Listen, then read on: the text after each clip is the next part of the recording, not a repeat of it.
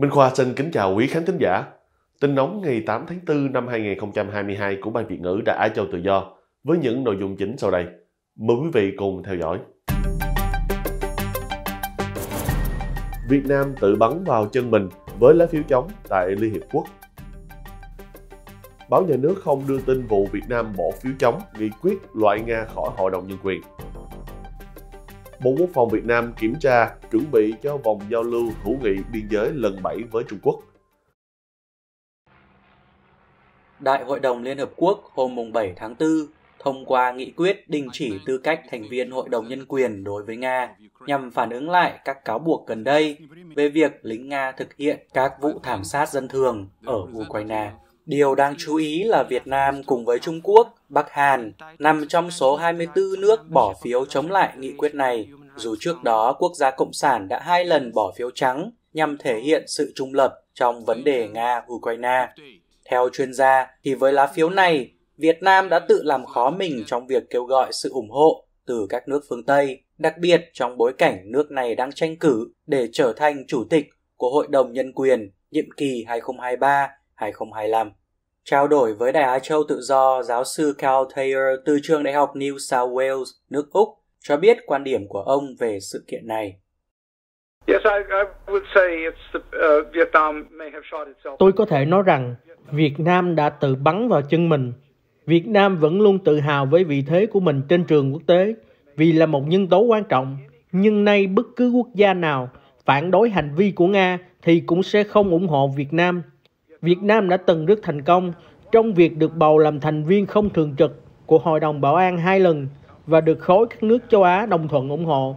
Nhưng bây giờ thì e rằng sự thuận lợi đó sẽ không còn nữa. Và nếu Việt Nam tiếp tục có những lá phiếu như lần này thì họ sẽ mất thêm sự ủng hộ bởi vì Hoa Kỳ và toàn bộ thế giới phương Tây chắc chắn sẽ không hài lòng và họ sẽ ủng hộ nước khác thay vì Việt Nam. Hay nói cách khác, tại sao họ lại phải ủng hộ Việt Nam khi Việt Nam về phe của Nga. Theo vị giáo sư này thì đáng nhẽ ra Việt Nam nên tiếp tục bỏ phiếu trắng, nhưng ông cũng cho rằng có thể là phiếu chống lần này nhằm thể hiện nguyên tắc của Việt Nam trong việc ủng hộ các nỗ lực đối thoại thay vì cố lập. Ngoài ra thì có lẽ chính quyền Việt Nam cũng sợ tạo ra tiền lệ và chính mình sẽ rơi vào hoàn cảnh của Nga sau này. Trước cuộc bỏ phiếu cho nghị quyết loại Nga, nước này đã cảnh báo những nước bỏ phiếu thuận và bỏ phiếu trắng sẽ bị coi là một cử chỉ không thân thiện và gây ra hậu quả cho quan hệ song phương. Hệ lụy của lá phiếu chống lần này vượt ra khỏi khuôn khổ của việc chạy đua vào Hội đồng Nhân quyền theo vị giáo sư người Úc. Tôi cho rằng trong hoàn cảnh này thì không lãnh đạo cấp cao nào của Việt Nam có thể thực hiện một chuyến đi đến châu Âu, dù là vì vấn đề thương mại hay gì đi nữa, bởi vì chuyện này sẽ được lôi ra nếu không bởi một thành viên của Nghị viện châu Âu thì cũng bởi một nước nào đó. Với hành động lần này, Việt Nam đã khiến mình bị sơ hở rất nghiêm trọng. Giáo sư Carl Thayer cho rằng môi trường quốc tế hiện nay đang khiến Việt Nam không thể tiếp tục đường lối ngoại giao đu dây nữa vì sự chia rẽ giữa các nước lớn đang ngày càng trở nên sâu sắc. Và ông cũng cho rằng Việt Nam không nên trông chờ gì vào nước Nga bởi nước này giờ đây giống như chất độc phóng xạ, thứ không nên dính vào. Quan điểm của tôi, trong những năm sắp tới, thì nước Nga sẽ không bao giờ có thể đóng vai trò gì đáng kể đối với Việt Nam. Ngày nào mà Putin còn nắm quyền, thì Nga sẽ còn suy yếu về mặt kinh tế và bị cô lập. Nước này giờ đây giống như chất độc phóng xạ, nếu ta chạm vào thì sẽ bị bệnh. Và đây sẽ là vấn đề rất lớn vì Việt Nam với Nga có mối quan hệ phụ thuộc lẫn nhau. Việt Nam là một trong số 24 quốc gia bỏ phiếu chống lại nghị quyết của Mỹ để loại Nga ra khỏi Hội đồng Nhân quyền vì gây ra cuộc chiến tranh ở Ukraine. Tuy nhiên, khi tường thuật về vụ việc này, các tờ báo nhà nước đã không hề đề cập gì đến Việt Nam. Quốc gia do Đảng Cộng sản lãnh đạo, cùng với các nước như Trung Quốc, Lào, Cuba, Bắc Hàn, Nga, Iran bỏ phiếu chống. Tuy nhiên, với kết quả 93 phiếu ủng hộ nghị quyết, 24 phiếu chống và 58 phiếu trắng, thì Đại hội đồng Liên Hiệp Quốc đã nhất trí đình chỉ Nga tham gia Hội đồng Nhân quyền do chiến dịch quân sự của Moscow ở Ukraine. Một lần nữa, báo chí do nhà nước Việt Nam kiểm soát khi đưa tin về vụ việc bỏ phiếu loại Nga ra khỏi Hội đồng Nhân quyền không hề đề cập gì đến lá phiếu của nước nhà, điều mà bạn đọc quan tâm.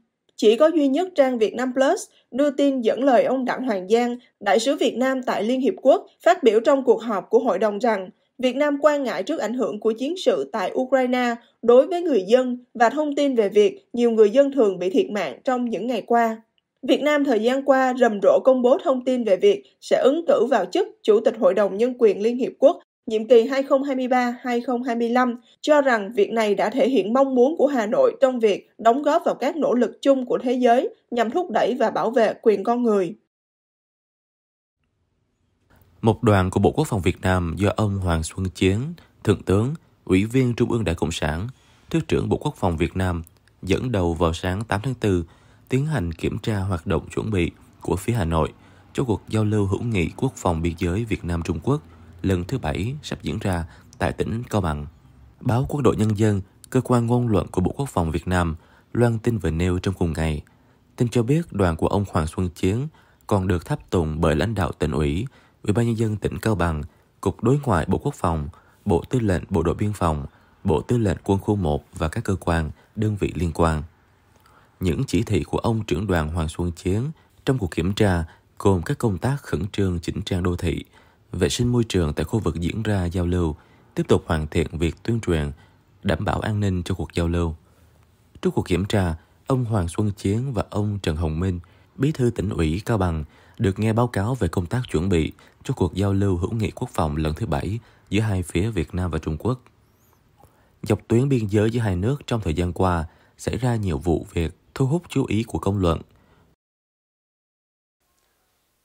Vừa rồi là một số tin nổi bật của ngày hôm nay. Cảm ơn phần theo dõi của quý vị.